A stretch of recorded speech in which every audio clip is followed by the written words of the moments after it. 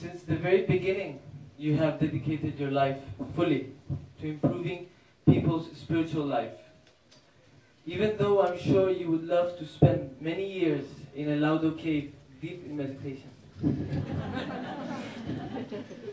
Thank you so much for choosing to stay with us and guide us towards our inner potential.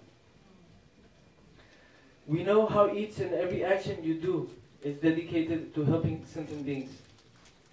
Every thought, every breath, every sip of water you take is dedicated to all sentient beings. We are so lucky to have you in our midst, to inspire us to be better people. And your presence gives us motivation to follow your example. You are constantly helping us, and so many sentient beings from so many different dimensions. It is amazing to see your work in this world. Please stay with us for as long as it takes all sentient beings to reach enlightenment.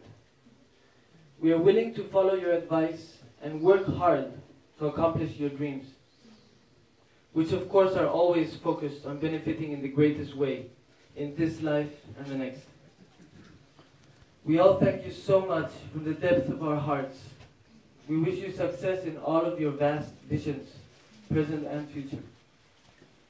Zubala, please live a long life. And please rest a bit when you can. Thank you for guiding us relentlessly, without rest, without tiring.